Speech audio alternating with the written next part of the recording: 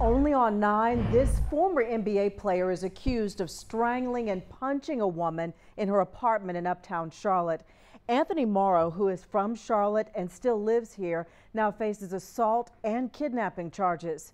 Channel 9's crime reporter Hunter Saenz spent the past two days looking into the accusations. A woman claims Anthony Morrow punched her, strangled her, and held her against her will. Tonight, Morrow's legal team is denying all of it. Steps into it. Anthony Morrow, the one-time shooting guard and former NBA player, is now facing serious charges. The Charlotte native and graduate of Charlotte Latin School is accused of assaulting a woman, kidnapping, and threatening her. A friend of the victim tells us she was dating Morrow. According to a warrant for arrest, Morrow faces charges of assault by strangulation, second degree kidnapping, assault on a female, and communicating threats. Those same documents allege he strangled the victim by squeezing her neck with his hands, and that the victim had scratches on the right side of her neck, cut lip, and abrasions on her forehead. They also allege Morrow assaulted the woman by striking her multiple times with his fists. Morrow to the three-point line. Morrow once played for the Golden State Warriors, seen here in this highlight video, before stints with multiple other NBA teams.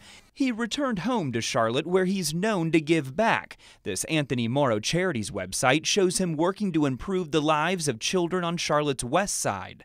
The website noting its programs in part, quote, focus on empowering and equipping our youth in the West Charlotte area to promote respect. Only abusers can stop abuse.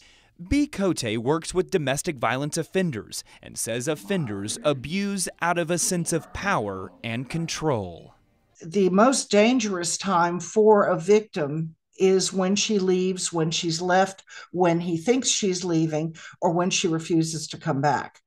We don't know if the victim was trying to get out of a relationship with Morrow, but tonight we are hearing from Morrow's attorney.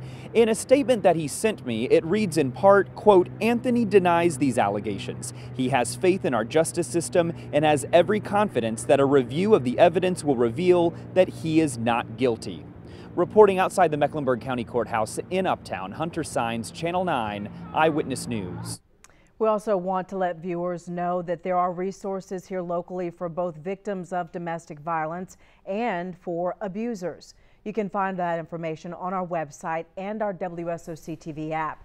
And this is the 24-hour domestic violence crisis hotline, 980-771-4673. Someone answers the call 24-7.